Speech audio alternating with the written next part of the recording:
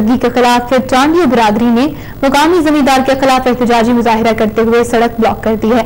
मुजाहरीन का कहना है कि मुकामी जमींदार की जानब से लगाई जाने वाली आग से अल्लाह चढ़ियो चांडियो के घर में अचानक आग भड़क उठी और देखते ही देखते इस आग ने इर्द गिर्द के घरों को भी अपनी लपेट में ले लिया, जिसके नतीजे में घरों में मौजूद सामान और अढ़ाई लाख रुपए मालियत की गंदम जलकर राख हो गई। तमाम कोई जानी नुकसान नहीं हुआ। बादजा मुतासरी की क्यादत में चांडियो बरदरी ने जमींदार के खिलाफ एहतजाज करके नोकोट और मीरपुर खास सड़क को ब्लॉक कर दिया, जिसकी बायस ट्रैफ़िक भी जाम हो गया। मुतासरी ने मुतालबा किया है कि मुकामी जमींदार को फौरी गिरफ़्तार किया जाए। दूसरी जानब, जमींदार का ये कहना है कि आतिश के वाक से उसका कोई ताल्लुक नहीं।